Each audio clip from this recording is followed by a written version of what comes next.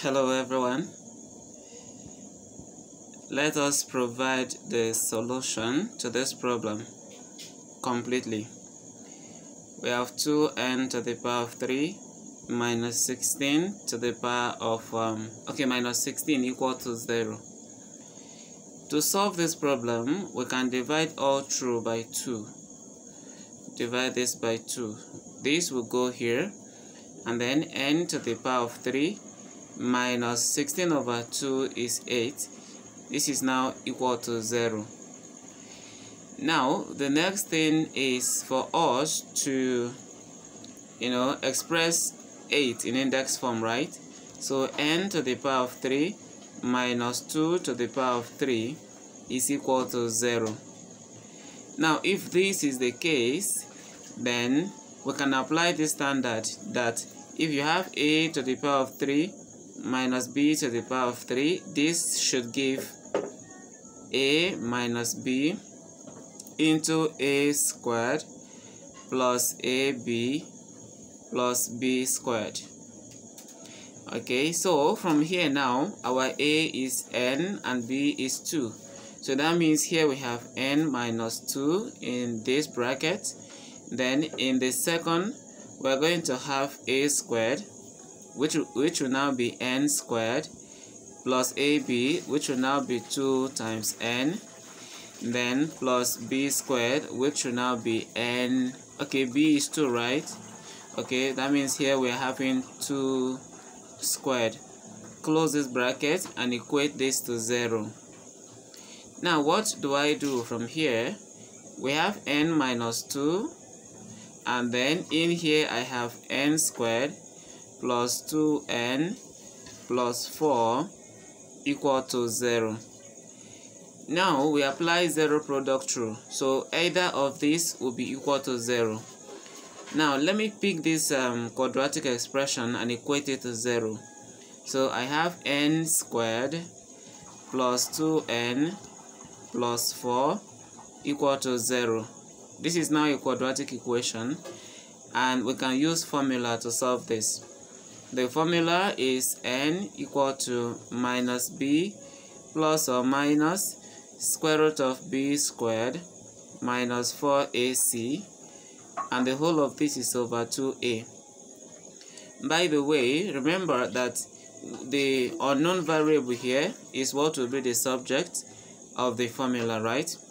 So that from here, our n will be b is 2, so I have minus 2 then plus or minus I have 2 squared minus 4 times a times c and our c is 4 right? So if I continue with this I will divide this by 2 times 1 now to continue n will be minus 2 plus or minus then I have 4 minus 16 this will be over 2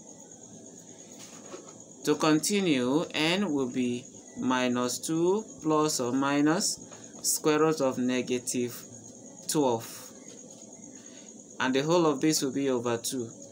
Now, we do not have to cancel out these 2 yet because this will also work for this, right? So from here, n will be equal to minus 2 plus or minus. Then we have um, square root of 12 multiplied by square root of minus 1 this is over 2 now what is 12 n here is minus 2 plus or minus square root of 4 multiply by 3 then multiply by square root of negative 1 we have square root of negative 1 over here right? The whole of this is over 2 now to continue n will be minus 2 plus or minus square root of 4 you know we can split this as well. So we have square root of 4 then multiply by square root of 3 multiply by square root of negative 1 and then remember that the whole of this will be over 2 right? Now I will continue on this side okay let me continue from here. So I have n to be equal to now we have minus 2 so I write minus 2 here. Plus or minus it's not showing plus or minus square root of 4 will give 2 then square root of 3 will still appear. And square root of negative 1 will give us i. So let's write our i over here now the whole of this is over 2 from here 2 can go there and 2 can go here. So we have n to be equal to minus 1 plus or minus. We have um, I'll write the i first. So I have i then I have square root of 3 this is okay this is all we have. This over 2 has been cancelled out right now to continue with this we can say that our n is equal to minus 1 plus i root 3 or n is equal to minus 1 plus okay minus we've already picked positive so this is negative now. We have i root uh, 3 right? Now from here okay so from here we have two values of n right? So we have this. But remember none of these values of n is um, a real solution. Okay these two are complex solution. To get the real solution we will go back to this um, expression n minus 2 right?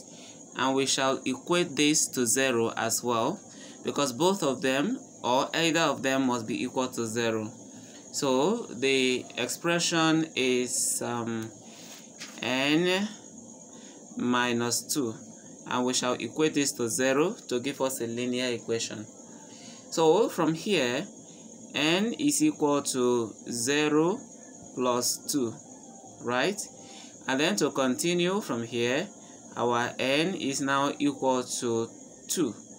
Now this is the real solution to this problem. But I want to bring the three solutions together. Now this is where I will write them. Okay, the three solutions.